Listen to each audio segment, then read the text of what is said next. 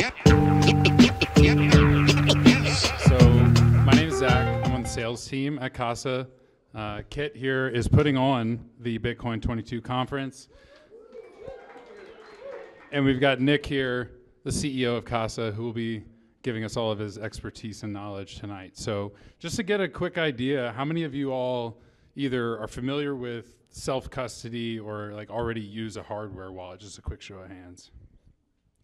Good bit, a good bit. So, got a fairly uh, experienced crowd, so it should be uh, good info here. So, um, all right, I'm going to turn it over to Kit, and we'll get started. Hey, good evening, everybody. Thanks for showing up. My name is Kit. I'm a digital marketer at the Bitcoin conference, so I'm super excited to share some details with you about that later.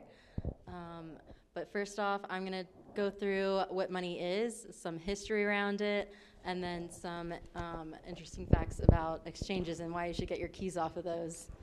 Um, do I hit enter to push? All right, perfect. Um, so this is our agenda, why self-custody of money is important. Um, then we're going to go into some ethos, some historical events, um, why you should do self-custody instead of leaving it on the exchanges. Um, we're going to go through single sig and multi-sig. I'm going to handle uh, hand that off to Casa to explain a little bit more about that um, inside of the Casa business, and then managing your private data, and then we'll have Q Q and A at the end. All right. So, what is money? Money is a tool that you can use to trade. I have a good, you have a good, we want to exchange it in some way. And so this can get complicated if you don't have some, some basic principles around it. Um, so um, we've got coincidence of wants is inefficient. So you can't just have something and want to exchange it. Um, it doesn't scale very well. So there's five properties of um, money that makes it really good. And Bitcoin has most of these, which is just amazing. So we've got divisibility. You can, you can subdivide it and scale it so that um, it can do large transactions. Um, and I'll explain that in a little bit. Portable, you can uh, quickly move it. Um, gold isn't easily moved. You have to have a truck. Um, if you want to send something to Spain or across the world in a few seconds, you have to uh, be able to do that really quickly. And it's either digital, instant, or you're gonna have to like fly it or ship it on a, on a boat or something like that. Um, then we've got that it's durable. Um, this is basically just resistant to physical damage. Um, dollar bills can rip. Um, coins back in the old day, apparently they would put them in bags and shake them, and little pieces of coin would go at the bottom and they'd melt them and make more coins. Um, so you want something that's solid. Um, and then recognizable. This is basically just that it's easy to verify. Um, you'll see on dollar bills that they'll use markers sometimes to see that it's real. Um, and of course, with Bitcoin, we've got the ledger to make sure we can verify it. Um, and then that it's scarce. Um, this is so that it's resistant to manipulation, like we've seen with the US dollar and inflation. Um, it holds its value as well too. U.S. dollar has lost a bunch of its value since going off the gold standard, um, and it prevents in inflation theft. So let's go to the next slide. Um, another one is that it can't be confiscated. With Bitcoin, you can hold your own keys. Um, there's been a lot of instances in history where um, that I'll get into, like this Cyprus bail-in, they just took a bunch of people's money out of their bank. Like if you had over $100,000 in the country of Cyprus, they just they took 10% of it out of it and just overnight. It just that's insane. um, and then we also have things like the order 6102. That was um, an executive order that you can't hoard gold or like gold certificates. Um, and that was by Franklin D. Roosevelt. So you never know what the government is going to try to do. Um, and so, see, the next thing I wanted to mention um, is, um, see, last part. The last part is just kind of like money can be whatever you want it to be.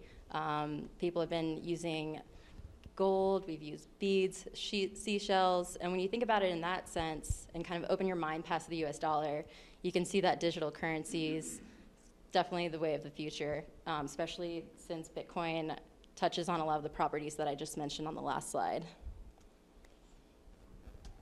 Um, so Bitcoin and self-custody ethos, um, digital large amounts can be self-custodied.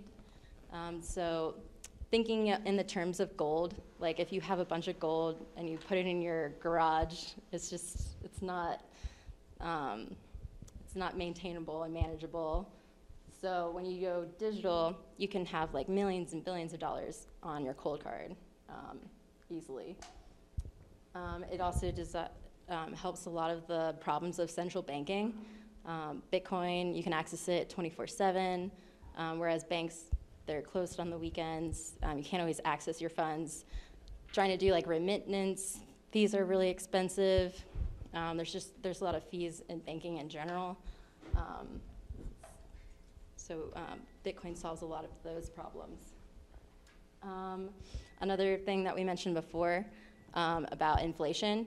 Uh, Bitcoin has a 21 million coin cap, so there will never be any more than that. And um, it can be divisible for the scaling purposes, but the supply is set, so that helps it hold its value. Um, and then uh, at 2040, all most Bitcoin will be mined by then. Um, and then proof of keys days, um, I wanted to mention that because it um, started on January 3rd. Um, it's a day to remember to hold your own keys because um, if you're not holding your own keys, someone can take it from you. A lot of exchanges have gone down and got liquidated, and people have lost a lot of their coins. Um, so Trace Mayer started that on um, January 3rd to remind us all of that. Um, so we put together a historical event. Um, so we have the Bitcoin white paper was released. Um, we have um, seed launches and wallets were launched, um, some more uh, Bitcoin software. And uh, when we send these slides out, you, you guys can go in and uh, read all the articles that are linked on this. Um, I wanted to go into a little bit of the Mt. Gox hack um, for this. Um, so the exchange was liquidated and people lost all of their Bitcoin. Um, and also it happened recently, actually in September, recently, 2021, 6,000 Coinbase customers' funds were stolen. Um, so if you haven't heard about that, that was a few weeks ago. Um, so these, these exchanges, they're getting hacked. Um, the CEO, Mark Karpelès was indicted for embezzlement for the Mt. Gox hack. Um, and at the time, 70% of Bitcoin transactions were being made through this exchange. So it was a huge exchange for this to happen to a bunch of people. Um, $460 million in crypto was lost, and then 21 million in US dollars were lost. Um, it's just mind blowing that that can happen. So it's really important to get your keys off of these exchanges. um, on this, we've got um, some companies that do custodial and then self custody, um, which is the best option to go. Um, with Coinbase, we, as mentioned on the last slide, 6,000 people were affected. Um, and some of these, you know, like BlockFi might be tempting, but the interest rate really isn't worth it when Bitcoin is doubling and tripling percentage wise year after year after year. It just doesn't make sense to hold it on those when the actual return, just holding on your uh, Coldcard is what I use personally, um, also Casa. Um, so I'm going to hand it off to uh, Nick to explain a little bit more. Um,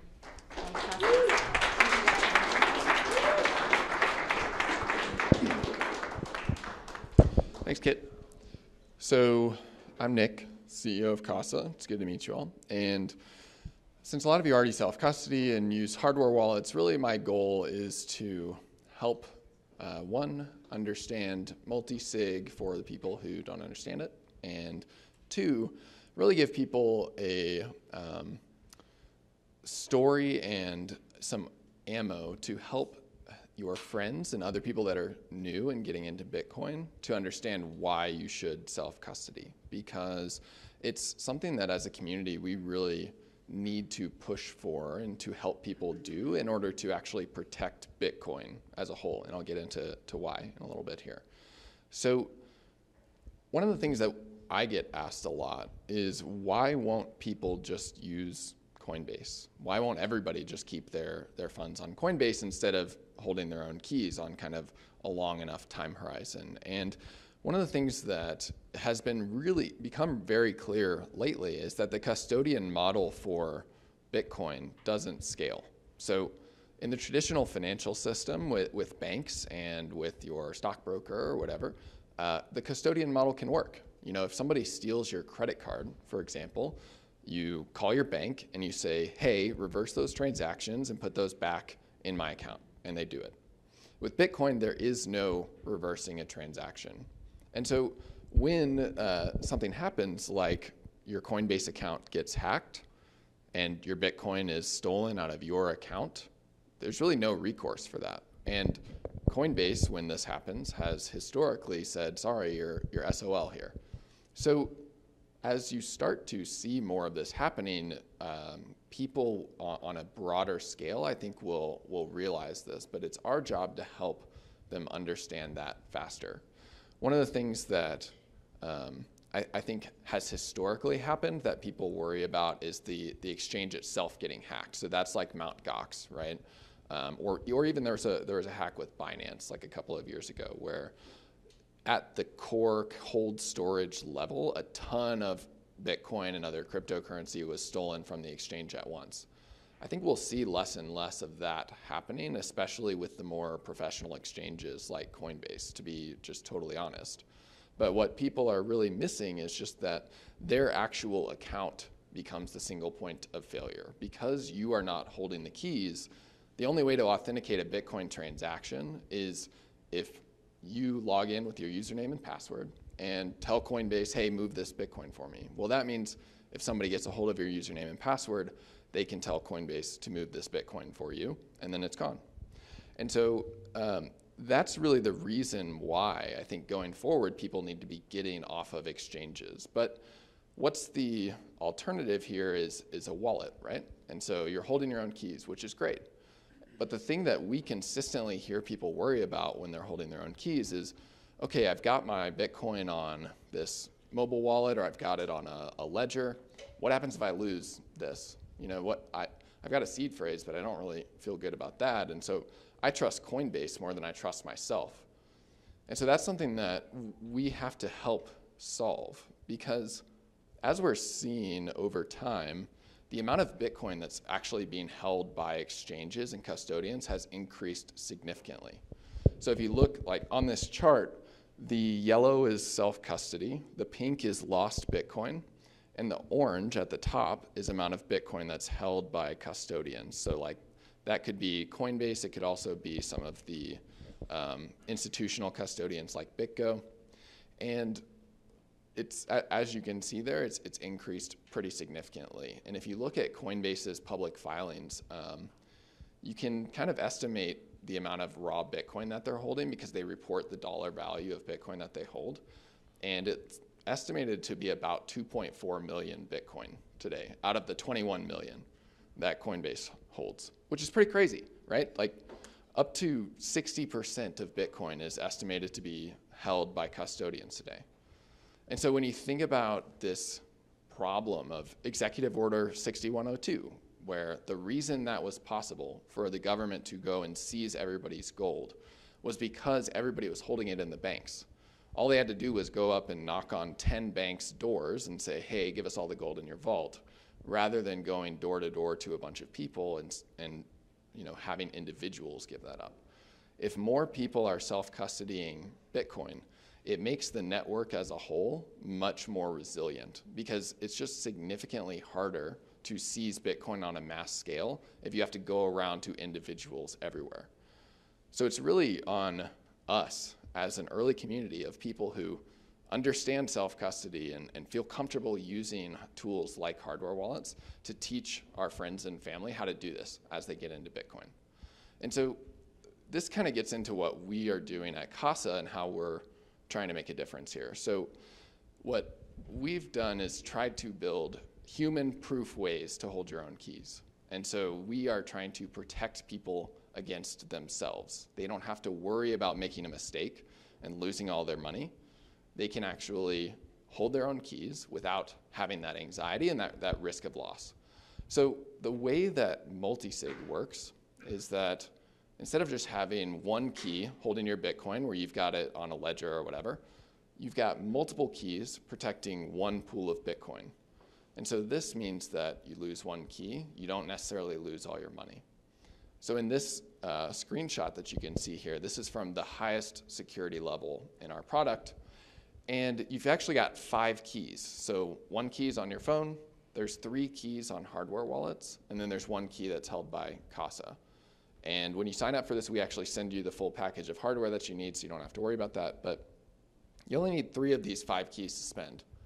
So that means that in order to access your Bitcoin, you're approving it from a few different keys, but not all five. So you can actually lose two keys at the same time and not lose your money.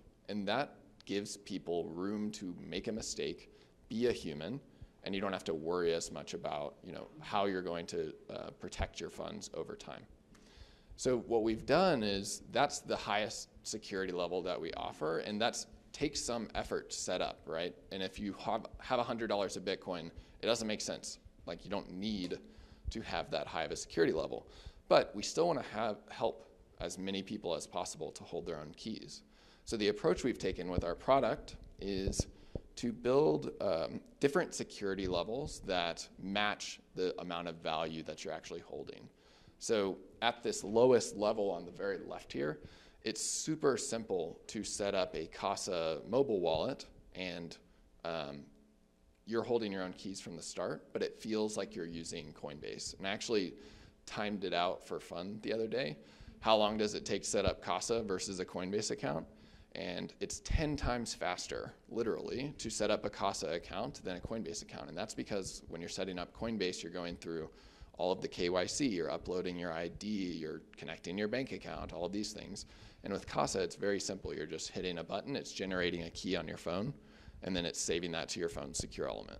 So we get people in the door at these really simple, easy to use um, levels and over time, as the value of their Bitcoin increases, they have the opportunity to increase and add a hardware wallet in and use a two of three multi-sig where you know you need two of the keys to spend. So this is how we've really tried to approach onboarding as many people as we can to holding their own keys. So just a quick, like, what's the difference between Casa and some of the other DIY solutions out there? you know, the, the biggest difference is that we've made it incredibly simple to set up. One thing that we hear over and over again from our clients is this was 10 times easier to do than I thought it would be, and I feel 10 times better about my Bitcoin security than I thought I would. And that's because we've really tried to bring in a team that'll support you. It's like a client service team who's there to help our customers with their setup and also think about some of the harder problems like inheritance. You know, when you're holding your own keys, it becomes a really big problem of what does my family do if I were to suddenly pass away because they definitely know, don't know how to use these things. And so that's how we can um, really come in and help there. So uh, that's enough of the Casa sales pitch. One of the things that I like to think about when I think about, you know, this question of is self custody going to win? And will people hold their own keys?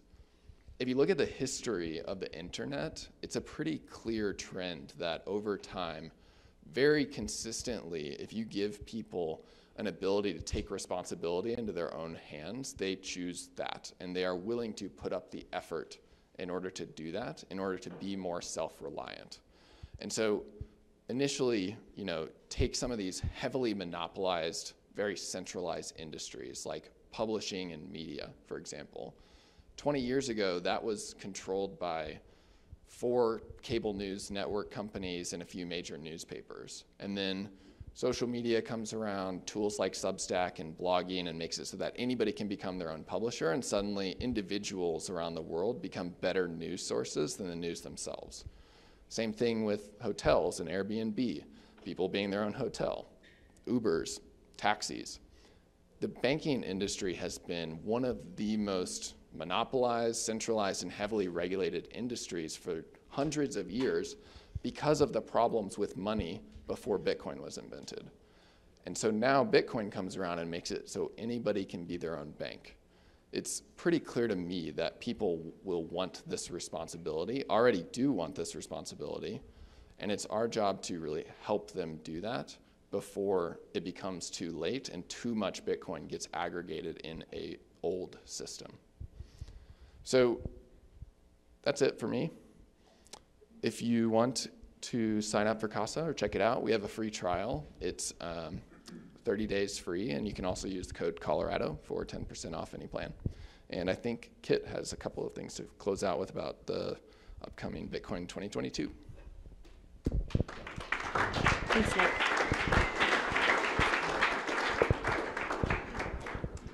Yeah, so I'm excited to tell you guys about the Bitcoin 2022 conference.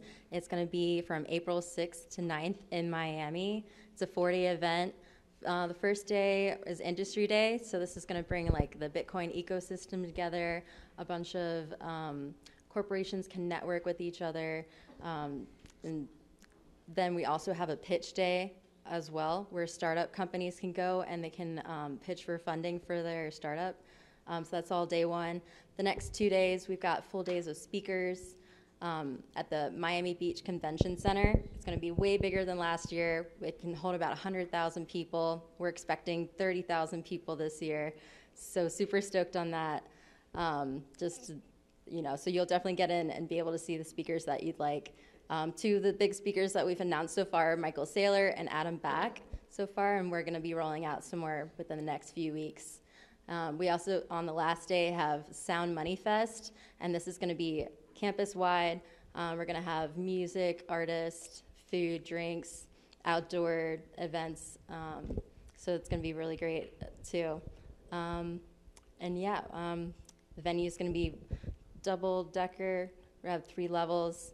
Um, I'll tell you guys a little bit about the passes. Uh, we've got four different passes. So general admissions will get you into the speakers. It won't be um, for the first day. If you want to do the first day with all the um, networking, also like a job fair and things like that, you're going to want to get the industry pass. Um, general admission will help you get into all the speakers, and then you'll also be able to go to uh, the Sound Money Fest. And if you just want to do the festival for the music, you can also buy a pass for that as well too. And then we have the Whale Pass, which we're rolling out this week um, on our website, a page um, but that, that gets you into special events. Um, we have like go karts that'll drive you around to different places, um, premium food, um, and you know different areas where you can hang out with different whales. Um, and today, um, our biggest discount that we've given out so far is 25% off. So if you use the code Colorado on our website tonight, you guys can get that discount. And hopefully, I'll see you guys in Miami. Thank you.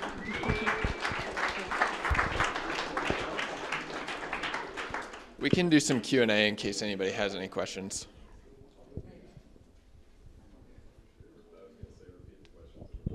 Okay, yeah, sure.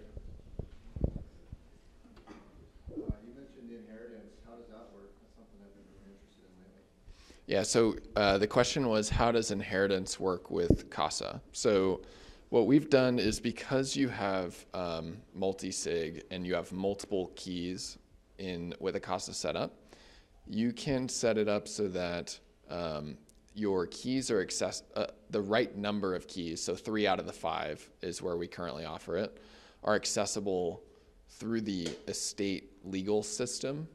So after you pass away. So essentially, this requires you to plan ahead of time and place these keys in the right places so that they're accessible by your heirs after if you should die. So what that means is like as uh, an example setup would be one's at your home so your um, family knows that that's there. One could be held by um, like a safety deposit box that's accessible with a court order after you pass away. And then the last would be held by casa and we'll actually sign with a, a court order for like a proof of death kind of thing. And so the benefits here is that your keys are are accessible through the estate process and through the legal system. The downside is if you're trying to keep it, you re, you lose some of the privacy aspect. So like if you are trying to keep your Bitcoin super off grid, this that's not maybe the way to to go with it. But it does just give you a more kind of foolproof process to make sure that your assets get included in your broader estate plan. Uh, how do you handle when you're setting up these two or three and three or fives? Uh, how do you advise folks to handle uh, private key management? So the question is when you're setting up a multi-sig, how do you advise folks to handle private key management, right?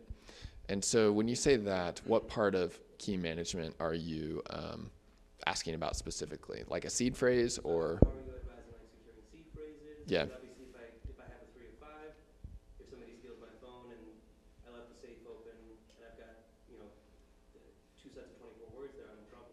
Yep. So specifically the question it's about seed phrases and what do you do with your seed phrases. And so what we actually recommend as the default is that people at the 3 of 5 level get rid of most of the seed phrases except for one. And that one is basically as a backup in case all of your electronic keys fail. But these keys are on hardware wallets, right? And so the nice thing about a hardware wallet is that they have this built-in uh, protection it, it, against somebody just finding it and kind of being able to use it, right? Whereas with the seed phrase, if they find that, it's an unencrypted form of a key, and they can just copy that down, and you have no way of knowing that. And so, what generally our, our clients do is they get rid of the seed phrases for all but one key. So, if that seed phrase is found, they can't do anything because it's only one, um, but they aren't at risk of other seed phrases being found. Now, this isn't like a requirement when you're using our product. Some people say, I know how to keep seed phrases safe, I want to keep all of them, and they're your keys, so you can do that. Um, but that's generally what we recommend. And, and the only reason you can do that with multi-sig, that because you shouldn't do that with a normal key, is because you actually, a key is very replaceable in a multi-sig. And so if you lose a key, you don't have to worry about restoring it with a seed phrase. You just get rid of it and rotate in a new key, and, and you you're back to a full setup. Could you explain like the backup process of the, the free tier wallet? Yeah, sure. So the question is, can you explain the how the free mobile key is backed up? So what we do is generally we think seed phrases are confusing for people, and so we've said in order to get this to be as simple uh, an experience as possible, we don't want the first thing you have to do when you sign up for Casa's free tier to be writing down a 24 word phrase. And so we generate the key on the phone and save it in the secure element. And then we take a, an encryption key from Casa's server and send it to the phone, encrypt the key, the, the private key on the phone, so that it's now an encrypted private key and it's actually not useful in that form and then we upload that to Google Drive or iCloud for people. And so that means if somebody were to get access to your iCloud, you uh, they would get an encrypted private key that's worthless. But if you lose your phone, you can log into iCloud and your Casa account on the new phone, and it'll pull down the key from iCloud, decrypt it with a key from Casa, and then you've got the, the private key saved on your phone again. So Casa and iCloud never see the private key, but um, and so your phone is the only place that that's actually usable as a as a um, unencrypted private key. But it makes it really easy for people to get started. Are you guys, uh, what are you guys doing for like Taproot? Are you guys like preparing to utilize that? Uh, Yeah, so uh, question is, what are we doing about Taproot? And yes, I think that Taproot's going to be awesome when it actually is ready. One of the things that I was actually talking with one of our engineers, Stacy, the other day, and she's been looking into this, and it looks like uh, Taproot, like native multisig, won't be ready right when Taproot activates. There's a few other updates I think that have to be made in the uh, Bitcoin Core protocol in order to allow some of the benefits that you would get from um, Taproot with native multisig, and I think it's around signature ag- aggregation. But Once that's actually live and in the protocol, which I would guess is sometimes next year, we'll be able to do some really cool things like, for example, um, Taproot, for anybody who doesn't know, is a upgrade to Bitcoin that lets you do more smart contracting with Bitcoin. So it lets you set more rules around the spending conditions for your Bitcoin. So what you can do, as an example, is say, okay, this is a two of three multi-sig, so there's three keys, I need two to spend. But if I don't move these funds for two years, make it a one of three multi-sig. And so what that would mean is all you needed was one of those keys to spend. And so if you lost one of your keys and weren't able, or two of your keys, for example, and weren't able to access your Bitcoin, without some of that smart contracting, you would have lost all your money. But with it, suddenly your wallet degraded in terms of security, but that allowed you to re-access those funds. And so I think that there's some pretty interesting like use cases for that, especially around things like inheritance and making it so your heirs don't even have to try and access three of your five keys. They only need the one as long as they wait for five years or something like that. And so I think there's some pretty cool things that will come out of that. I was just wondering, you know, where do you see CASA going in the next five to ten years? Do you see new services coming online, or do you see certain parts of the business evolving, like in terms of how you're doing the, the multi-sig right now? So I think if we're talking about shorter term, you know, some of the things that we're getting asked for by our customers is they're saying, hey, I've got, I really like Casa. I've got a bunch of my Bitcoin with Casa. And then I have some of my Bitcoin with BlockFi or some of these other financial service providers who I'm getting a loan on my Bitcoin uh, as collateral with, or I'm lending it out to earn yield legality of that's maybe questionable as the regulators are looking into it. But they're asking, can you get this into CASA so I can manage this all in one place? So probably some of the things that we'll be looking at over the next year are integrating some partners that can help bring that functionality to CASA clients, but all manageable from within CASA. So um, over a longer time frame, we really see private keys as the best form of digital authentication that we have today. So they, there's three kind of um, traits of a private key that are make it such a great form of authentication. So they're unique in that there is no other once a private key is created, it, there's no other private key like it in the world. They are unguessable because they're super long and so it's really hard to guess somebody else's private key, and it would take like a network of supercomputers millions of years to do that. And then they're unforgeable, which means that from the Bitcoin network's perspective, I cannot go to the network and fake that I have your key. So all of these things make private keys a super good form of authentication. And so over time, we think they will represent more than just money. So your private key will be your identity online. You know, why use a username and password when a signature from a private key is significantly better form of proving that you are who you say you are. Or in your communications, you already people already use Signal today, where they're encrypting their communication with a private key. So where we really see Casa as being the home for all of these keys that protect everything important in your digital life. And so over a long enough time frame, that's the direction that we're going in.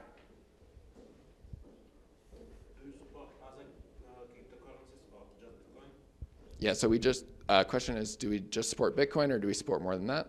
And we just support Bitcoin. Second uh, short question.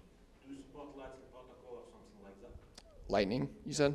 We don't today. We used to with one of our other products, and we're going to get back into that.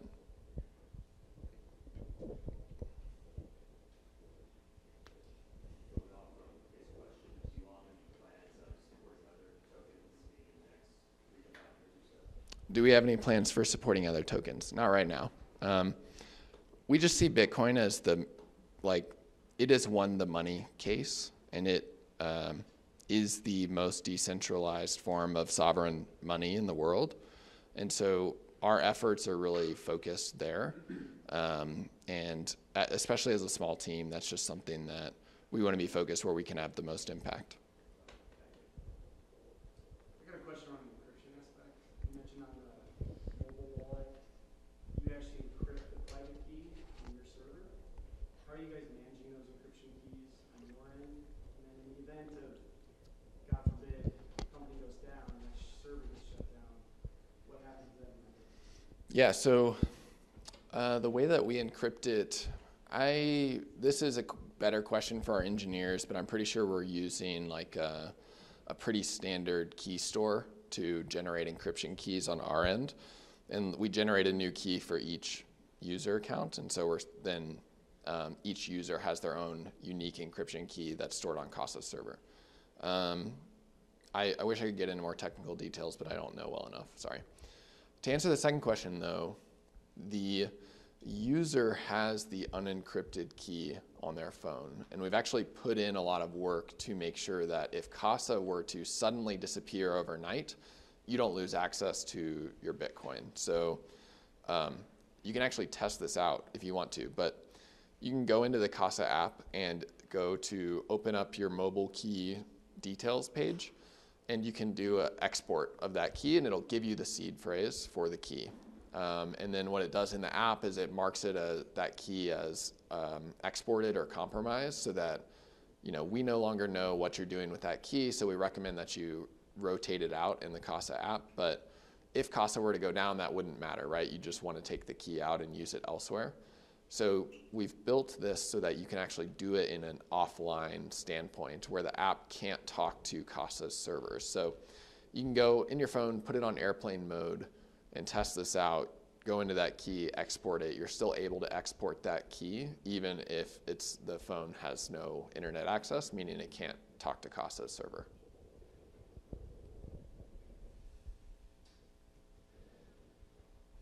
Awesome. Well, thanks everybody for your time, and um, hope you enjoy the pizza and beer. And I think we have this space for maybe like till 9 p.m. Is that right, Zach? Yeah, we have the space till 9, so feel free to hang out. And thanks for coming.